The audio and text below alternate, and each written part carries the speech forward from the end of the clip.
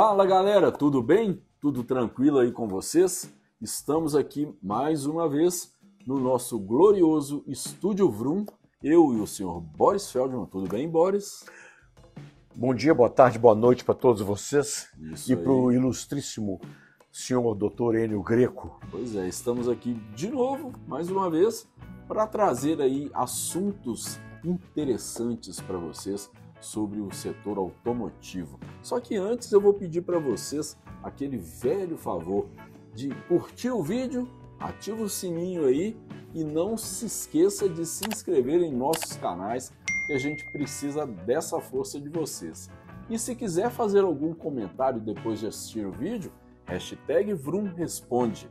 Entra lá, diga lá, deixe seu comentário, fala o que você achou e se quiser deixar uma sugestão de assunto para a gente trocar uma ideia aqui, a gente vai achar bom, né, Boris? Claro, mandem as perguntas, mas por favor, não nos apertem sem nos abraçar. É, exatamente. O Boris não gosta de ser apertado quando abraçado.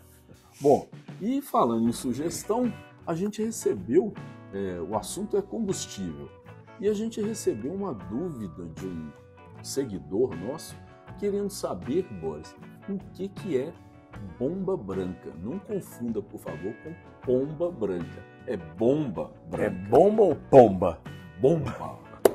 Bomba branca deve ser aquela bomba que você pinta de branco, não é? Não, É, pois é. Eu, não acho que não é não. eu acho bom o senhor esclarecer, porque tem gente, inclusive da equipe aqui, que quer saber. Já despertou curiosidade Isso. aí. Todo mundo querendo saber o que vem a ser bomba branca. Sabe por quê que o pessoal quer saber e alguém andou nos perguntando aí? Pelo seguinte, há uns dois, três anos atrás, a ANP, Agência Nacional de Petróleo e Derivados, tá, permitiu o que eu acho uma excrescência, que é uma bomba num posto fornecendo combustível que não é fornecido pela marca, pelo logotipo, A bandeira que, a tá bandeira chamada bandeira. Quando o posto não tem a bandeira, aí ele é chamado de posto bandeira branca. Que Isso. não é nem Shell, nem Petrobras, nem Ali, nem Uhum. Ipiranga. Brá, ok, tem uma bandeira branca, tá bom. Mas se o posto tem uma bandeira, ele é Shell, ele é Petrobras, ele é Ipiranga. Ipiranga, seja lá o que for, ele, de acordo com essa resolução da ANP, poderá ter uma bomba no meio das outras que recebe combustível daquela marca, e ele pode ter uma bomba branca, ou seja, que recebe um outro combustível de outra refinaria, outra distribuidora, Que não seja daquela distribuidora. que não é aquela. Ou seja, olha o absurdo que a ANP permitiu. Isso é um absurdo. Vo- Você entra no posto Shell, aí você encosta na bomba. Não está vindo combustível da Shell. Mas aí tem um Instituto dos Defensores do Comércio Livre. Uma picaretagem. Não, porque a bomba branca estimula a concorrência e a, reduz o preço do combustível. E mais, o que é importantíssimo, lá na bomba está escrito: essa bomba fornece combustível eh, da refinaria Patati Patatá, situada em XPTO. E você, quando entra no posto Shell, você vai preocupar em ler o- que está escrito na bomba? Que isso, minha gente? Ah, isso aí é um verdadeiro absurdo que a ANP permitiu. Aí, no fim do ano passado, fim de 2023, um juiz, Fernando Martins, não é juiz, é promotor do Ministério Público de Uberlândia. Ele resolveu acabar com essa festa. Não pode ter bomba branca.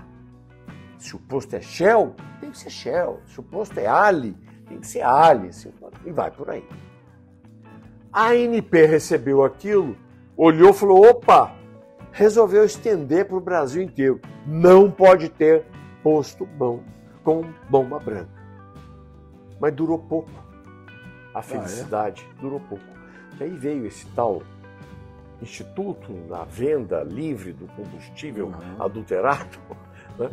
e pressionaram a ANP, a justiça e essa decisão do promotor do Ministério Público de Uberlândia ficou valendo apenas para o Triângulo Mineiro, só para os 14 municípios do Triângulo Mineiro.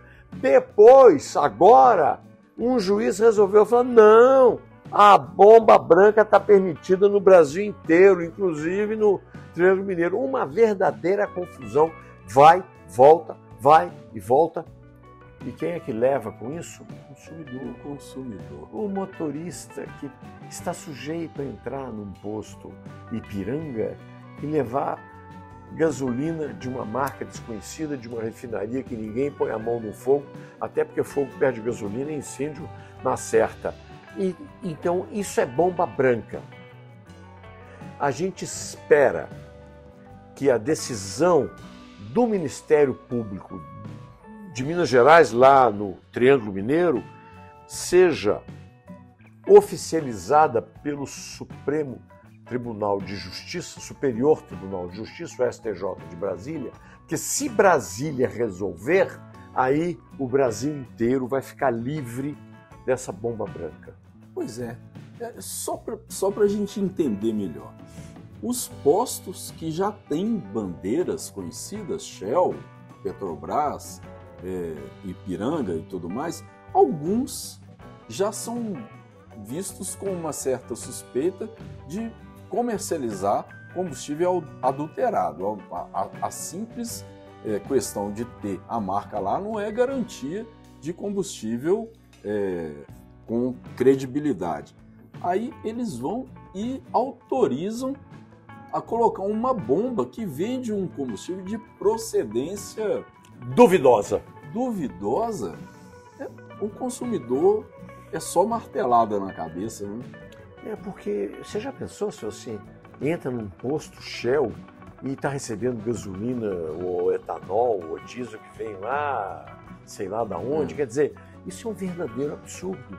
Ah, não, mas é que tem que estar tá identificado na bomba que ela fornece de outro.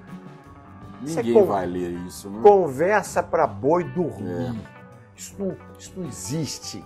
Isso aí são os que defendem a venda do combustível adulterado. Ah, mas é que isso promove a concorrência. Se tiver uma bomba vendendo mais barata, os outros vão ter que vender mais em conta também. Conversa para boi é. dormir. Quanto é, e quanto é mais barato também, né? Às, às vezes não, não, deve ser nem tão mais barato assim, que justifique você correr o risco de abastecer o carro com combustível desse. Às vezes não é mais barato coisa nenhuma, mesmo preço, sabe qual que é o...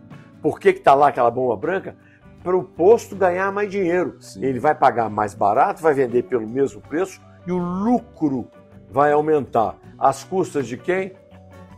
Do motorista, como sempre. É, o consumidor sempre pagando papo. Não tem jeito, né? Sobra sempre pro lado, pro lado mais fraco. Então, meu caro, se você entrou no posto, viu lá a bomba branca, né? Ela não é branca, não, viu, gente? É branca porque ela vende um outro combustível e é obrigado a estar lá, viu?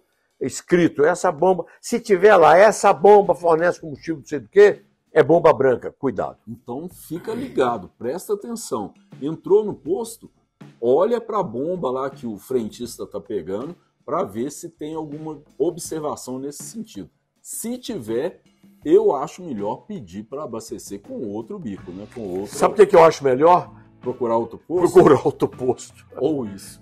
Melhor ainda. É isso aí, galera. Brigadão pela força aí, não é, seu Boris Obrigado aí pelo prestígio por estarem aí nos acompanhando. Se curtiu o vídeo, ativa o sininho e nos prestigie também se inscrevendo nos nossos canais no YouTube e no Dailymotion, que a gente precisa da força de vocês.